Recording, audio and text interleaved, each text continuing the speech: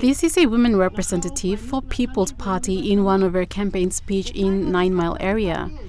First election, she has two promises for the people of Moresby North East when she is successful in taking the seat in Parliament.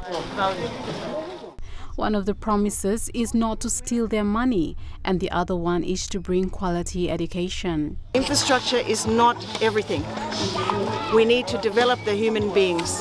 Human beings must kisim save, they need to be healthy, they need to be smart, and they need to be safe. Safety belong man meritu. People need to move freely. That's called human development. The fight for quality education for children has long been there, as she has championed them in her life. She visited Buk bilong Pikinini Six Miles Library today. You all look very smart this morning.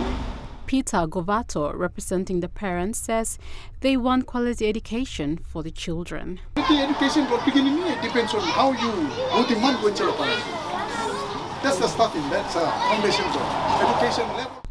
Getting into parliament will not be easy for her as she is up against 74 candidates in the electorate. But she says she is ready to take on the challenge.